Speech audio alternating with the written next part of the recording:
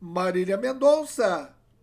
Legista dá parecer sobre causa da morte. Confira essa história.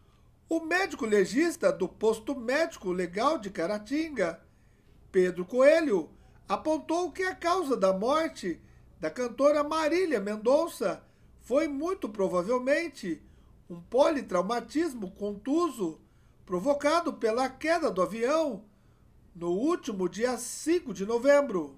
O médico afirmou que as outras quatro vítimas fatais do acidente também podem ter sofrido de politraumatismo, que é uma causa de morte comum entre vítimas de mortes violentas. A confirmação irá testar que as cinco vítimas morreram de forma instantânea.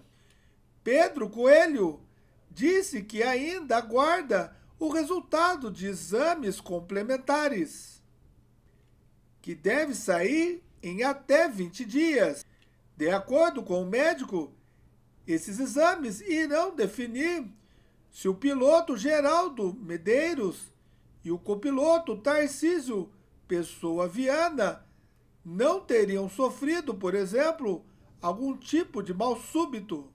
É preciso descartar ou confirmar, por exemplo, se o piloto ou copiloto passaram mal durante o voo, se tiveram ou não um mal súbito.